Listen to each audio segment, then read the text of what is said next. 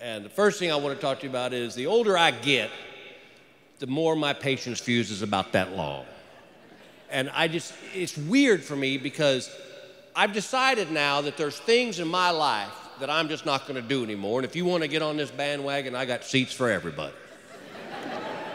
Number one, I am not going to text message anymore. That's right. Because I figure if God wanted me to take 15 minutes to say, What's up? He'd have given me a stutter.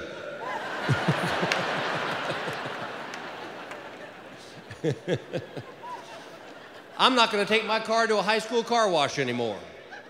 I know it's good charity and it's fun, but you just can't feel good about yourself knowing you were lured in by a 15 year old girl in shorty shorts and a bikini top.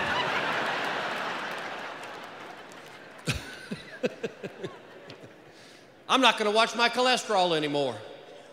My doctor told me the other day, he said, I want you to start eating Cheerios so you lower your cholesterol. I said, if I got to give up Lucky Charms, life ain't worth living.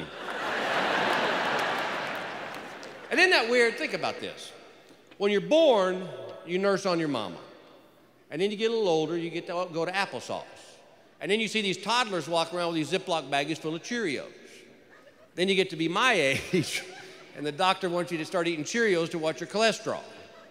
And you lose your teeth, you go to applesauce. I now know why old men like women with really big boobs. they see a trend.